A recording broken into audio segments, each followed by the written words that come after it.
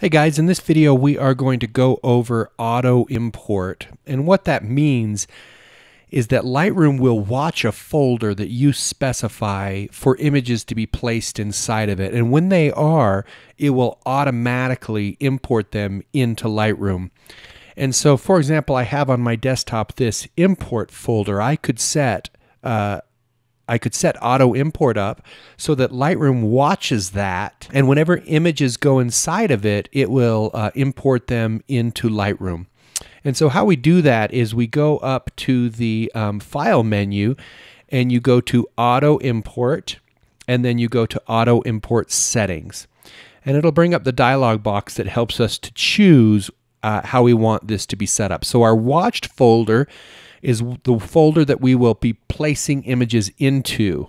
And so we want to choose that to be my import folder. So now, whenever an, an, image is placed into the import folder, Lightroom will suck it in and put it into a place that I choose. And I'm going to choose to put it in my originals folder because that is where I want all of my images to go. Now you'll see that I have, it wants to create a subfolder called the auto imported pho photos. The one thing I'm going to change here is I'm just going to put a dash in front of it. And the reason I'm going to do that is because that will keep it listed first in all of my folders in the original folder. And so as I have more and more shoots come into this area, I will continually have my auto imported photos folder be at the top. Okay, and so we can choose to name them as they come in. We can choose to add a develop setting as they come in. We can choose to include metadata. And if, if you've watched the video on copyright, I'm going to include my copyright metadata. We could choose to add keywords. And so I could uh, think of the keywords that match this shoot and have them come in. And then I can choose my previews and I'm going to choose standard.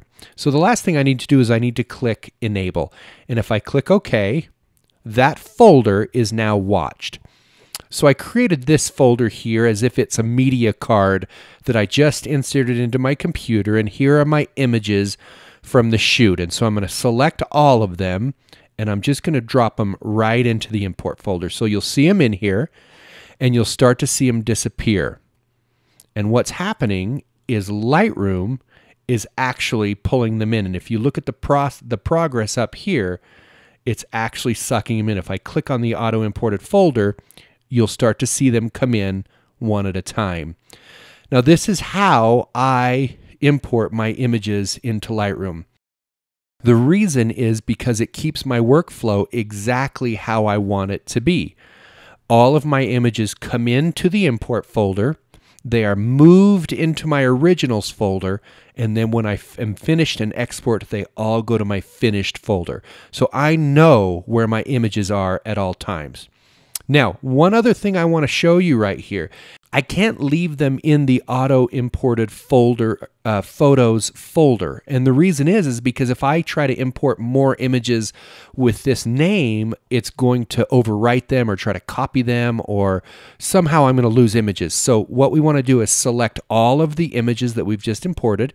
So I'm going to do a command A and then if you right click on auto imported folders, I can create a folder inside of auto imported folders with the images that I have selected.